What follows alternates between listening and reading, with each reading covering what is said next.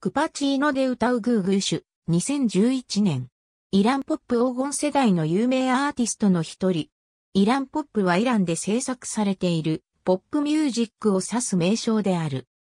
イランポップはもともとイランで制作されている音楽のみを指す名称であったが、ペルシア語に近い言語を公用語とするアフガニスタンやタジキスタン、パキスタン、さらにはアメリカ合衆国やヨーロッパなどのイラン人コミュニティにおいてペルシア語を含む様々な言語を用いて創作されたポップミュージックも講義のイランポップに含まれるようになった。モントリオールでライブを行うエビー・マハスティ、イランにおいては、1950年代初頭に、ビーゲンが登場する以前、音楽産業は、イランの伝統音楽のアーティストの独壇場にあった。その後、ジャズの王様として知られるビーゲンは、西洋に影響を受けて登場した新たな中産階級の出現と合致するように、国内音楽の革命の先駆けとなった。イランのポップミュージックは1970年代に発展したが、これは民族楽器や民族音楽の形式を用い、エレキギターやその他の国外の音楽の特徴を取り入れて融合させたものであった。この時代に最も人気のあったミュージシャンはグーグーシュである。しかし、イランポップの黄金時代は長くは続かず、1979年のイラン革命後は、イラン国内でポップミュージックが禁止された。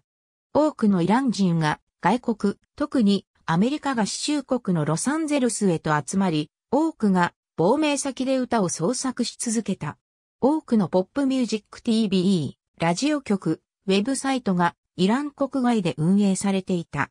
これらの放送会社は、世界中のイラン人とイランのポップミュージックを結びつける重要な役割を果たした。ベンヤーミーン・バハードリー1990年代、イラン公式政府はカリフォルニア州などイラン国外で制作されていた正式でないイランポップに対抗して正当なイランのポップミュージックを生産し、販売を促進していくことを決断した。詩人のアリー・モアテムとミュージシャンのフェディドゥーン、シャフバーズ・ヤーンは国内のポップミュージック復活に向けイラン・イスラム、共和国放送で結成された評議会の代表となった。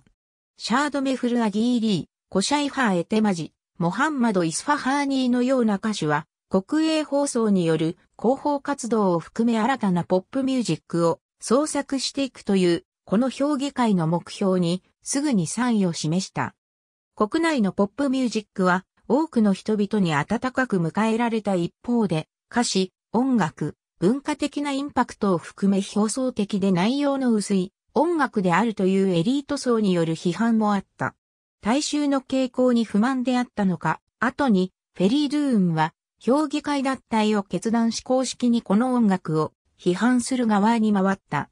イランのポップミュージックは厳しい規定から成り立っている。公の場で講演を行う、もしくは音楽の販売を行う際には、イランのイラン文化、イスラム指導省による許可が必要である。また、一つのアルバムを発売した場合、新たなアルバムを発売するまでに3年経過している必要があり、経過していなければ発売許可が下りない。イランの大統領、モハンマド・ハータミーの元イラン国内の文化制限が緩和された結果として、複数のイランポップシンガーが国内から登場するようになった。現政権が政務を取り仕切るようになって以降、イラン文化、イスラム指導省は異なる施策を採用しており、これは主に音楽産業への監視の緩和に結びついた。新政策には、少数の歌手に対する制限の緩和と残りのミュージシャンに対する制限強化が含まれていた。アーティストにとって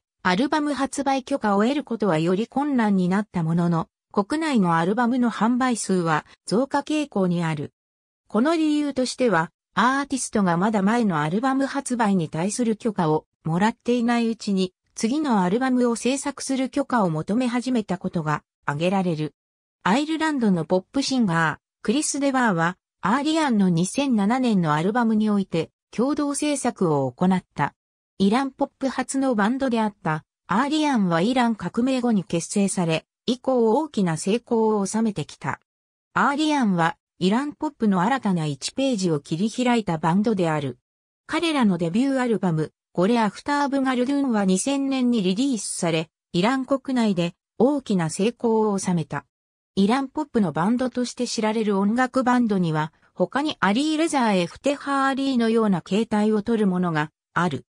エフテハーリーは、イランポップの新たなジャンルを切り開く際に大きな影響を与えた。この方法を創始した際の困難の過程について、彼は以下のように述べている。イランの音楽文化にポップミュージックを組み入れるためには、私自身がスケープゴートとならなければならない。2009年末、シールバーン・ホスラビーは、ヨーロッパのラジオ局で、ツボネが繰り返しオンエアされた初のイラン人アーティストとなった。彼は、自身2枚目のアルバムの表題曲、サーテ Q でデビューを果たし、イランのオンラインメディアにおいてトップを飾った。2010年8月末、ファルザード・ファルズ・イーンは、彼の3枚目のアルバム、シャーンスに収録されている2つ目の楽曲、チーケチーケで、ヨーロッパのミュージックチャートにデビューを果たした。2012年、シールバーン・ホスラビーは、ファンクスラジオ局において、NA ナロという楽曲で2回1位を獲得した。1980から1990年代、イラン人のポップスターは主にロサンゼルスにその拠点を置いており、彼らの多くがイラン国外で生まれた、もしくは有名になるまでのイラン国外の生活が長いミュージシャンで構成されていた。この新たなイランのポップミュージックの流れはしばしばアメリカ合衆国の音楽や文化、ラテンアメリカの文化などと融合を見せ、初期の時代のイランポップとは全く異なる新しい音楽が生み出された。特にテクノミュージックの影響が強かった。アーザム・アリー。現在はアメリカ合衆国を拠点としている。ありがとうございます。